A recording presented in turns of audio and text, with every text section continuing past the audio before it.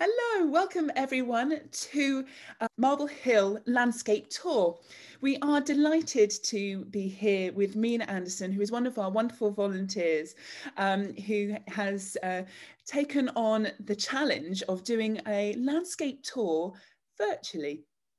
We would love to be doing this landscape tour in person. However, we want to be able to do this virtually and so whet your appetite for being able to offer this tour um, monthly um, on site.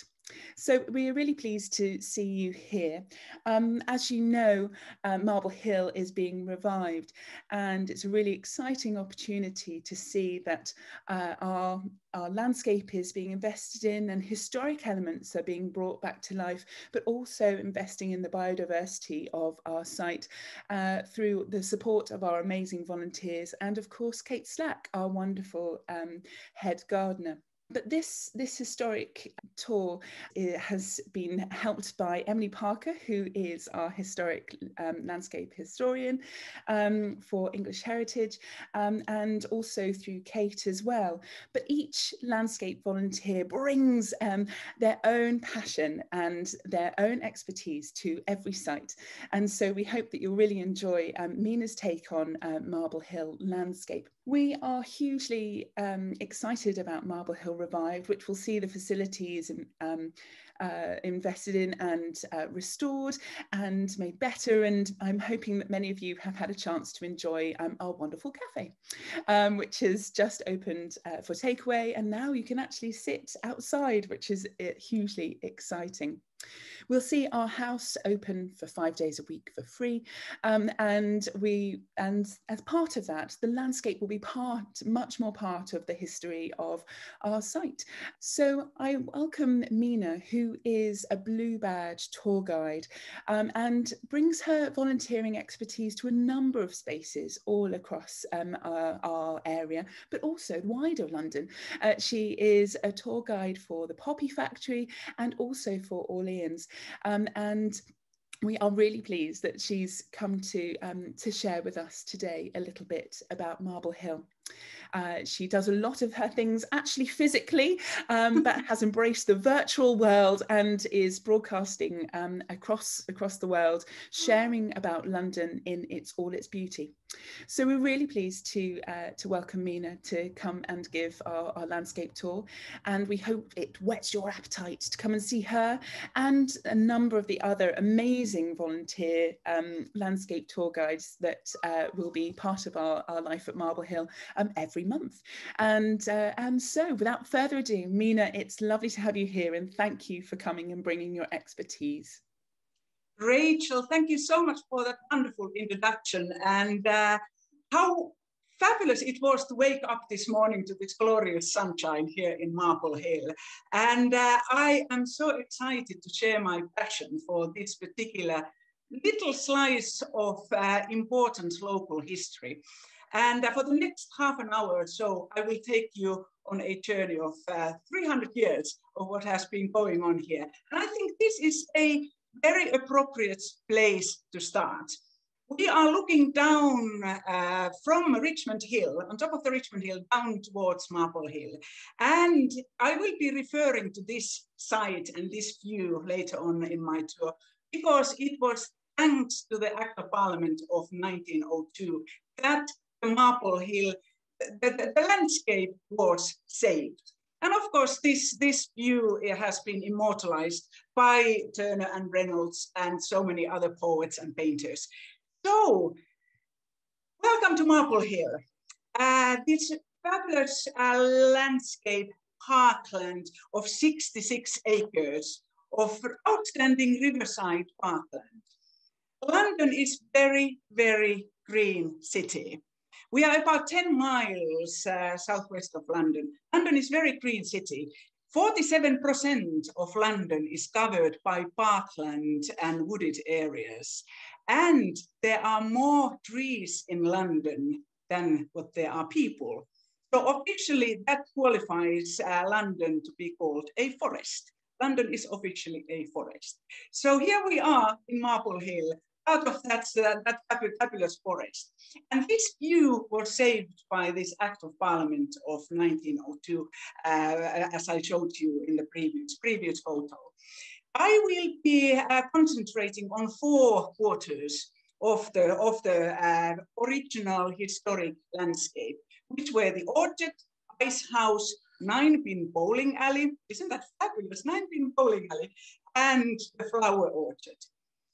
Why is this particular area so important? Well, of course, Riverside's uh, properties where, or, or, the riverside itself was always very sought after because it was much more, uh, well, cleaner, quicker, and more comfortable to travel out of London by river.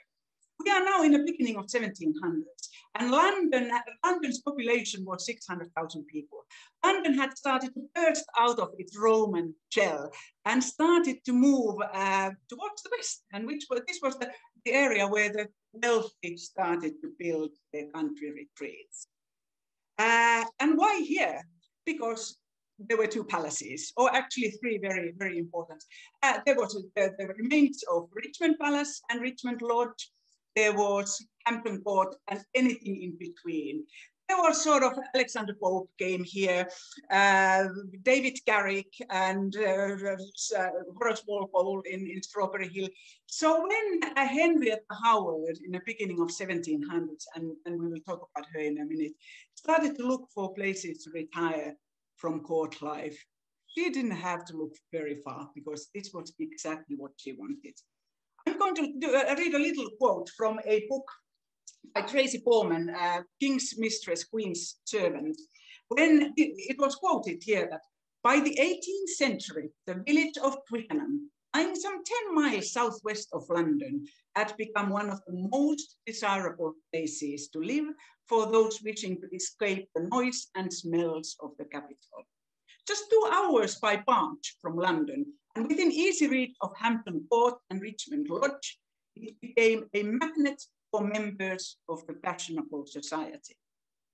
Lady Mary uh, Wortley Montagu, who spent every summer with her husband at the elegant Savile House, wrote to her friend in 1722, I'm at Twickenham, where there is at this time more company than in London.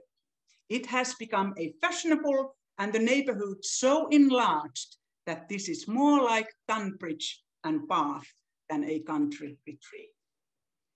So Henrietta, so this is where she then, this fabulous lady who uh, uh, is, has left such an impact uh, still after 300 years. She um, was orphaned at the age of 12. Her uh, father died uh, while fighting in a duel, and her mother then a few years later. So at the age of 12, she was orphaned. And she suffered all her life uh, uh, disability of, of, of not quite hearing properly. And uh, she married her husband in 1706. Her husband, Charles Howard, who was quoted of being ill-tempered, obstinate, drunken, extravagant, and brutal.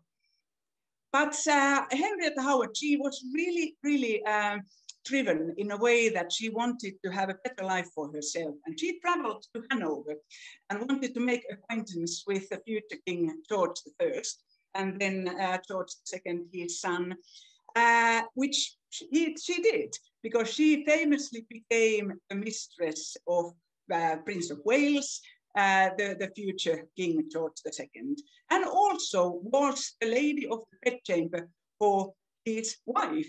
So it was a sort of proper menage a trois happening, happening there. But that's not, that really is not the only thing that Henrietta should be remembered. She was really dedicated patron of arts and lively, talented intellectual in her own right and passionate advocate for the rights of women because she was abused uh, uh, in her uh, relationship with her first husband. And she really uh, left uh, on the society and culture of all early Georgian England. Uh, she was so resonant, well beyond the confines of the court, and is still really, really embraced, and it's an evidence, evidence today. And Henrietta was also known to be sort of, she favored all the association that were uh, Horace Walpole's, uh, Robert Walpole's uh, enemies. So she sort of had her, her, her friends were these um, thinkers of, of, the, of the day.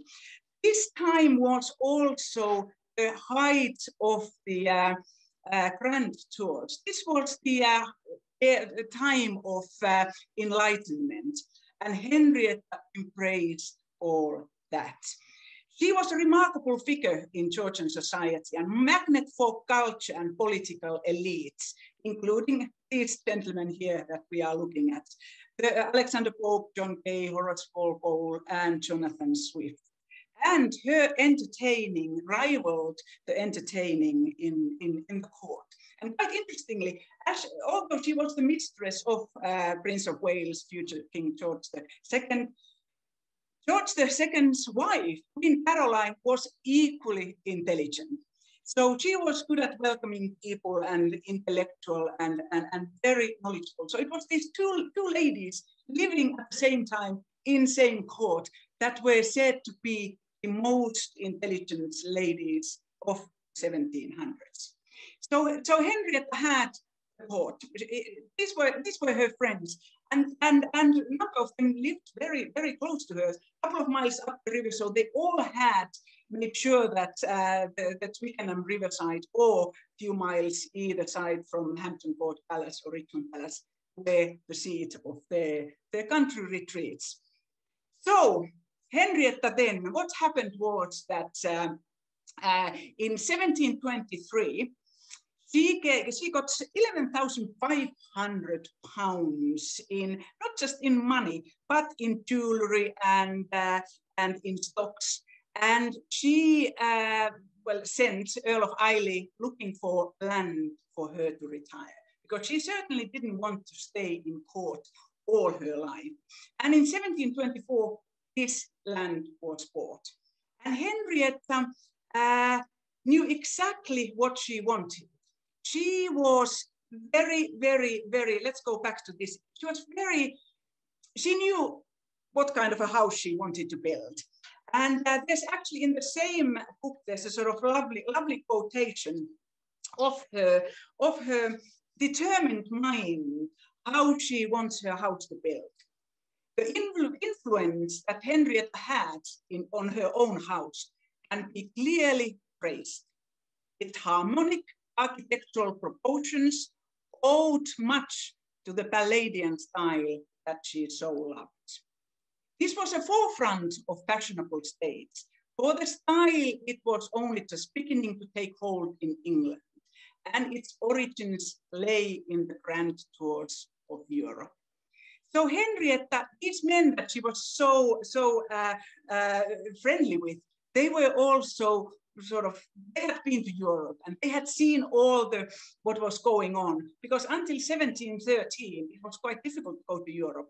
After the, the, the Treaty of Utrecht, uh, the fabulous grand tour started when the aristocratic men went on the aristocratic year and not only brought back paintings and artifacts, but also garden ideas. So this, this Palladian villa uh, uh, was then built according to what Henrietta had seen, experienced, and heard. But she was very, very uh, uh, particular how the house had to be built. And she was not going to leave such an important project to a well-meaning amateur. So enter a gentleman called Roger Morris, who was told to build, and I quote, a naked carcass of a house so that Henrietta can then leave her own mark on it. And then Charles Bridgeman, who then became King uh, Charles II's gardener later on, was there then to sort of help the gardens. And uh, Henrietta's interests expanded, as it's again quote, well beyond the tea and scandal. And she was super passionate uh, in, and, uh, in, in, in architectural projects and especially in garden design, and had such a knowledge on both of these subjects. And uh, here is a drawing of uh, Colin Campbell, who uh, this is from the um, from 1725, Vitruvius Britannicus, uh, just titled House in Twickenham. So, so it's a very plain house, but has got all the proportions of that archi architectural uh, fashion that was going on. Interestingly, I'm slightly just sort of uh, going, going slightly tearing off for the duration of, of one slide, because next door uh, is Orleans house, uh, James Johnston's house, and you can see exactly how the same, same uh, similar type of building is next door. This is also by, by uh, Colin Campbell, the drawing on the left. And if you see that uh, they are very, very similar. And I couldn't resist this because the church, uh, St. Mary's Twickenham, is also then built in the same style by the same architect, John James, who, who, who did uh, Orleans house. And then you are wondering, why on earth have I got uh, the Bridgerton photo there? I have got the Bridgerton wedding photo when Daphne and uh, uh, Duke of Hastings get married. The filming was done in the St. Mary's Church in Twickenham. So I thought I put that, that, that little, little bit of, bit of it in. Henrietta's one of her favorite uh, friends, dearest, closest friends, was Alexander Pope, who lived a couple of miles up the river or up the road, down the road, literally next door neighbor. And when Henrietta started looking for help, advice, uh, people who would give her the right kind of support, uh, she really didn't have to look far because Alexander Pope was there. And uh, uh, we have here an interesting drawing of the gardens uh, of uh, Alexander Pope's gardens. And we can see that uh, in, a, in, a, couple of slides down, it is quite uh, mirror imaging the, the, the, the, gardens that Henrietta then initially uh, decided to build. So, so um, Alexander Pope was fundamental in, in uh, helping Henrietta and guide Henrietta in, in her garden plans. And here we have, I have slightly stretched this, this uh, image, this fabulous image from 1749 that was found, maybe if I say accidentally found, it's, it's, a, it's a bit strong, uh, too strong word, but in the beginning of 1990s, in uh, Norfolk Record Office, and uh, this is absolutely uh, well accurate of Henrietta's time, how the gardens looked like. And are um, uh, indications that what was where. I will be referring to this particular map uh, quite a few times as we get deeper into the uh, landscape of Henrietta's gardens. Because here we have a, list of what was in this drawing. So here, just uh, sort of, it's, it's quite um, challenging to read, but here it says, it starts with the house, greenhouse, a seed, seed before the ice house, ice house in the thicket, uh, flower garden, grotto, nine pin alley, kitchen garden, poultry, and charity lawns. So uh, uh, plus then um, uh, many, many, many other, other, as you can see, the list is long. So referring to this is, uh, this map has now in recent years been very, very deeply. And now the uh, once we get totally up and running, to do a tour in actual in the grounds, uh, according to how Henrietta's garden was in, in uh, as in this image of 1749. And also, uh, interestingly, this so 1746, the house is is in the in the survey uh, in in the road map. So you can see see the house uh, uh, in the survey, which I find fascinating, that she had this huge land. Uh, it's more or less the same land that's, that surrounds the house at the moment, although it was bought little by little, so it didn't, it didn't start, start that large. So what we have here, here then is uh, an engraving by, by Heckel. And um, this just the house uh, that it, there was always an unobstructed view to the river. And uh, there was also always this avenue of trees. And um, uh, in Henrietta's time, the lower branches of the trees were cut. So they were like sort of on lollipop sticks. So that there was this always this vista from the from the house to the river.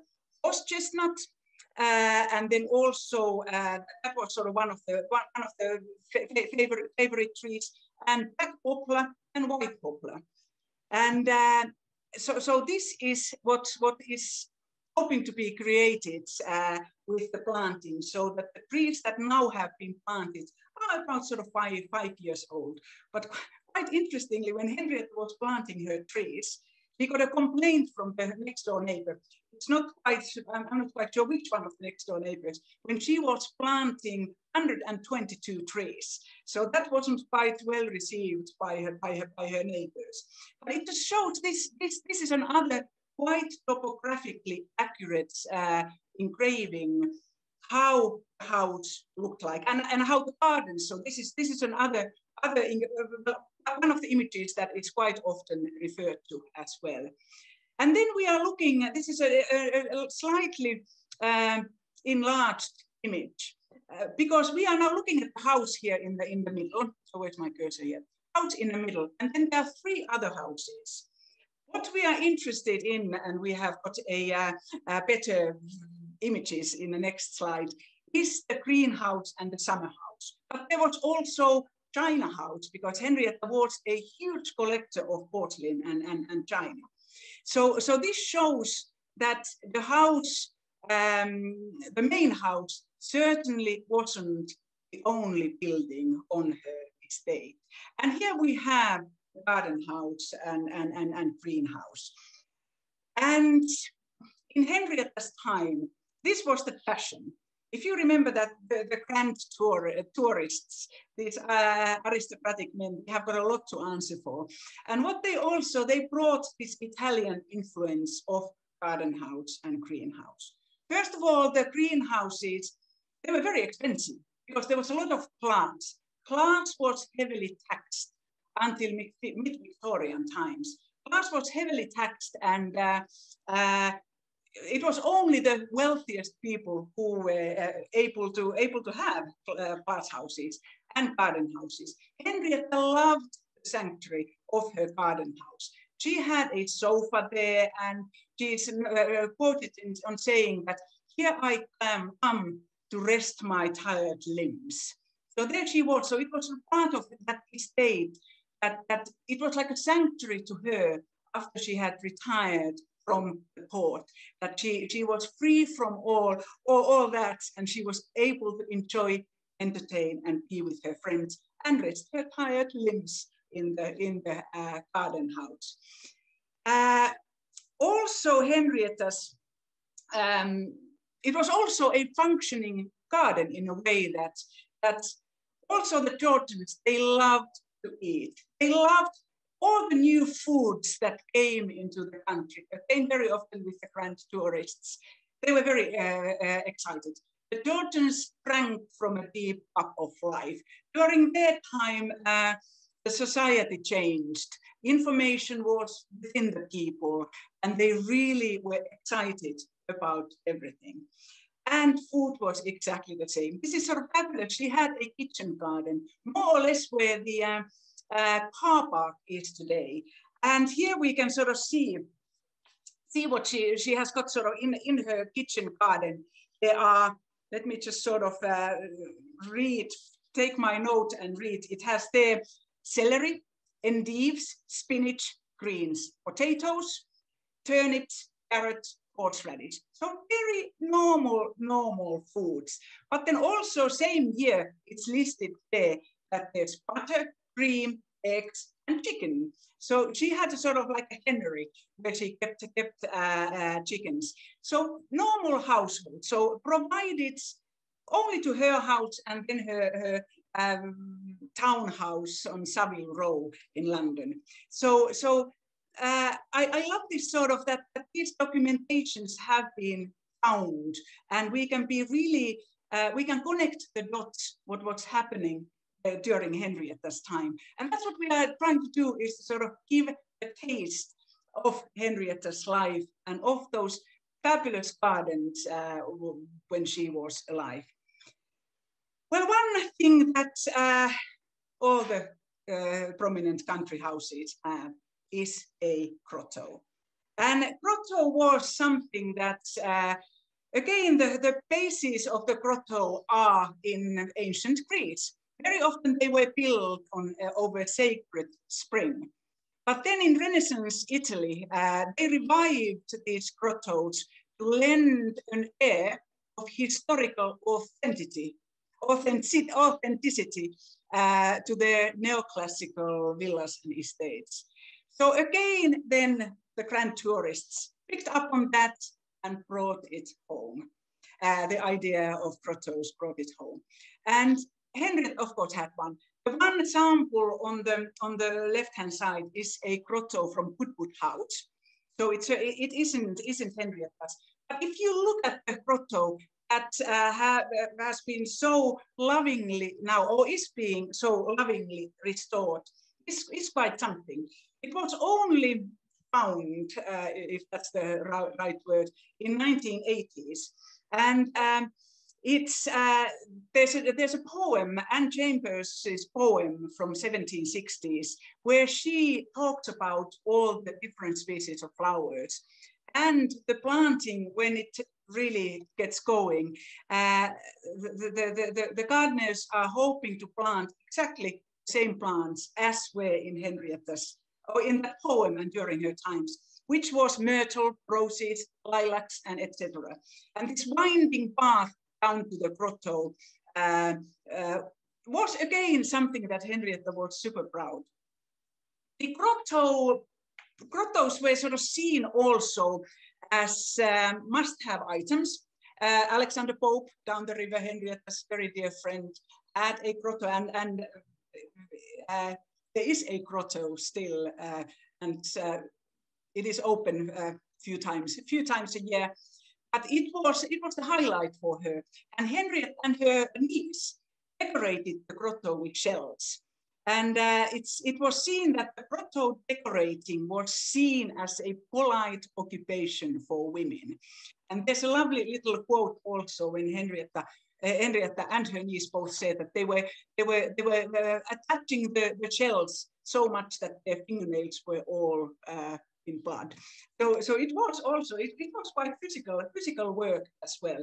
But this will be ready uh, for, for people to enjoy in a year or so time.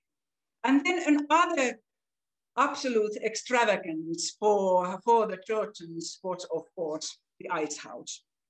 And ice house, ice was collected. Very often Thames froze. Thames froze uh, uh, and there were ice bears on Thames until early 1800s. And the Thames could freeze up to 28 centimeters thick. So that ice was harvested from whether it was from the Thames or, or ponds and put to ice houses. And the ice kept frozen for up to 18 months. And then that allowed then the, the aristocrats and people who had the means to build ice houses to keep their drinks cool, make ice cream. Ice cream was the thing to offer when you when you uh, were in Georgian port and you were dining.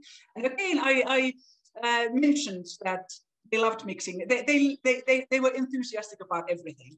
And when these new foods arrived, uh, they wanted everything. So they also mixed the ice creams more extravagant, the better. So in Henrietta's time, it was known that she had asparagus ice cream, truffle ice cream, artichoke, and parmesan ice cream.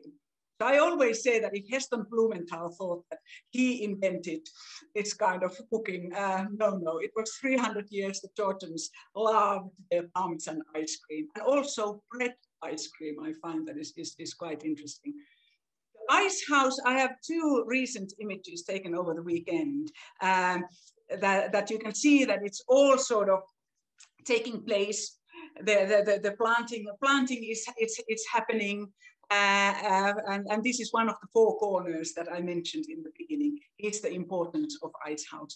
And there was a uh, tent to sit in front of the Ice House overlooking the river. Right, and this I love. I love Ninepin Alley. So there is, uh, uh, the Ninepin Alley was discovered by the archaeologists quite recently.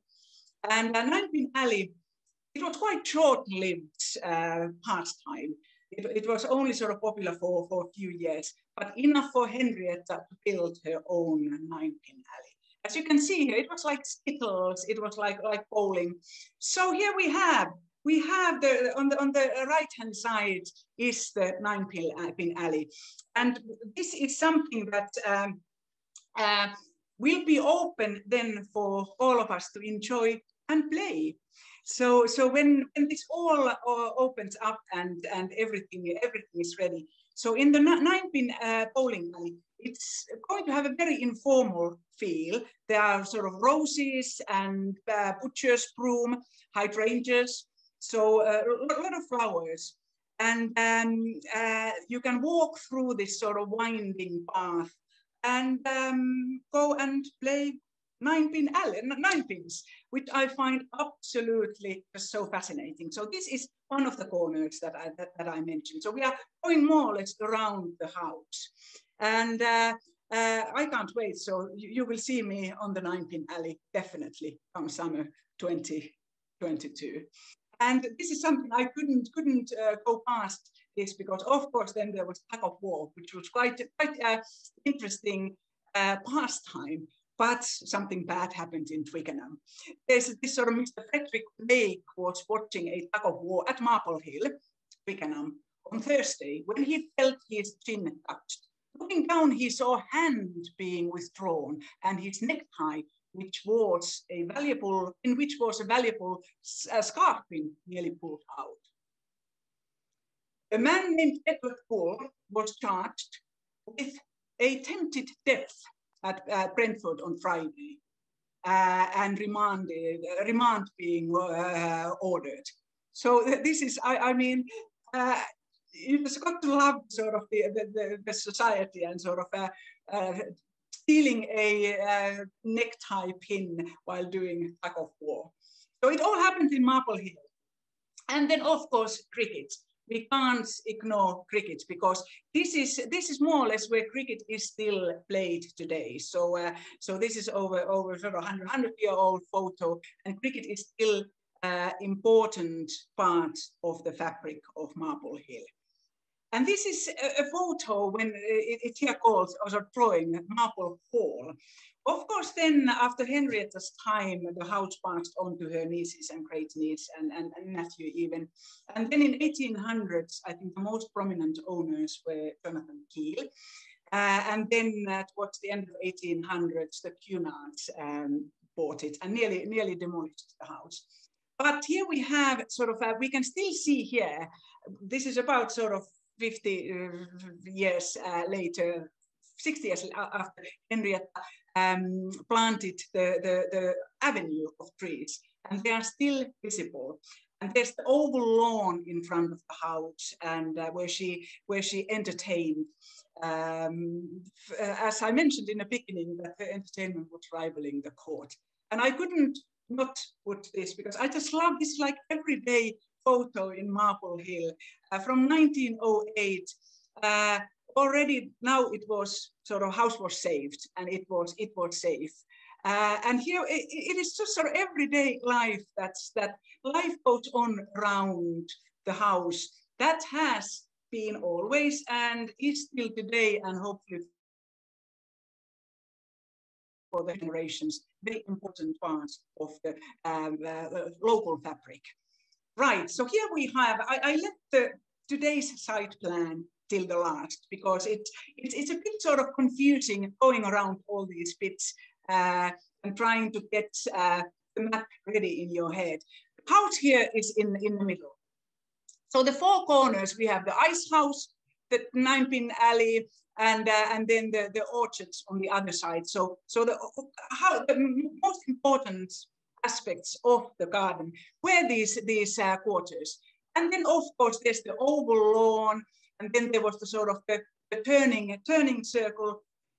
Most people came by road, uh, by horses and carriages, although it was, uh, and, and, the, and the road was sort of on the side, so it didn't go, go directly in, a, in the middle, middle, middle, of the, middle of the lawn. Although um, most of these country houses had uh, uh, boat houses and, and for people to arrive in when they came from London.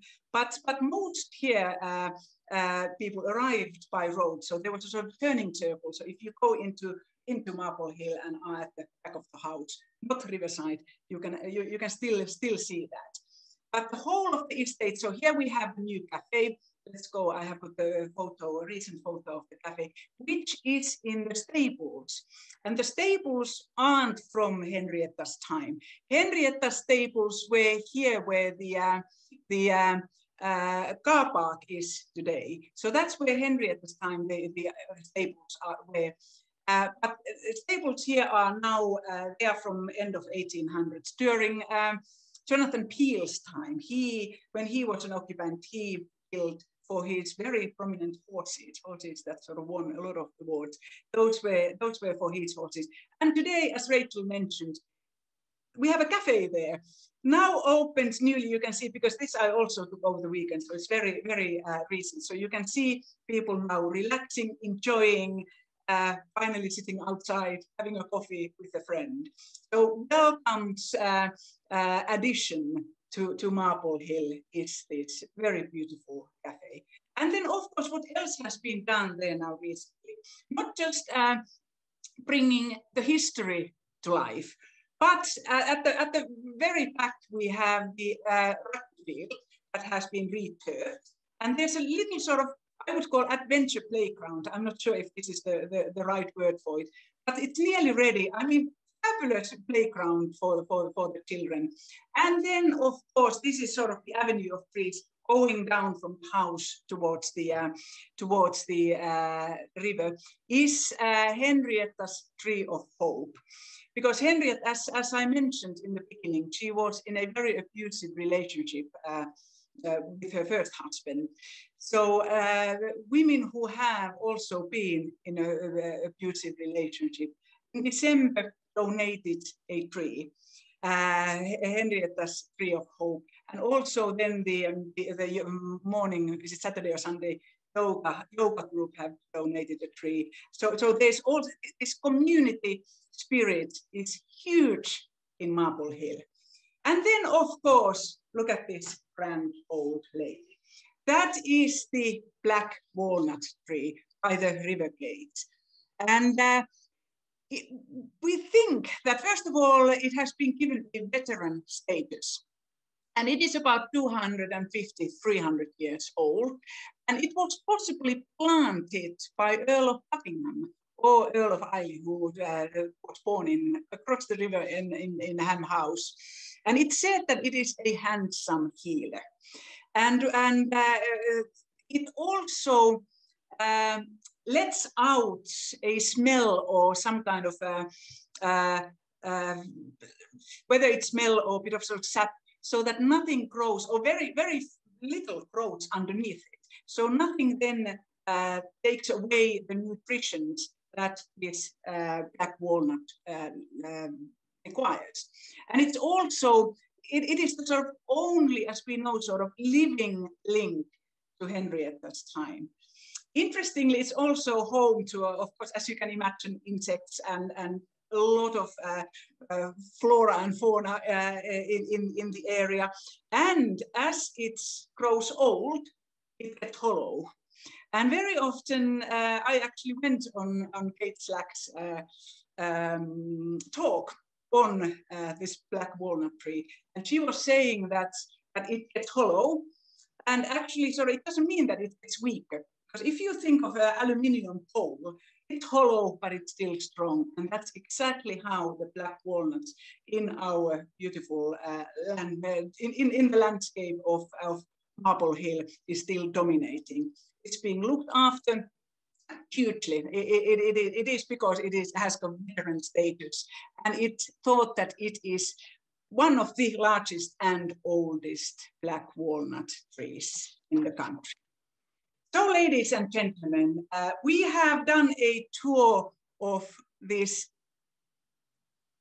well, landscape tour of uh, gardens and landscape of a very passionate woman passionate woman who believed in what she uh, was uh, what she was given, and she fought for her causes. She was, as we have learned, she was this absolutely um, remarkable of her time in court, and then retiring here and keeping her friends close to her, building this beautiful house, this fabulous landscape and gardens. So what better place to retire than in, in our beautiful Marble Hill. So I hope to see you all on live, live, live tour, which we hope to start from 11th of May onwards, running every month. And I look forward to uh, going around the gardens and smelling and touching these glorious uh, living artifacts. Thank you so much. Thank you so much, Minna, um, for your energy and uh, and a glorious rendition of um, a, a, very difficult thing, giving a landscape tour virtually. when there is no landscape in front of you. Absolutely, and we just can't wait to have our community back to be able to do this in person and. Um, and it's it, but we're so grateful for you taking up the mantle of uh, pulling this together and and delivering um, a, a fascinating talk. So thank you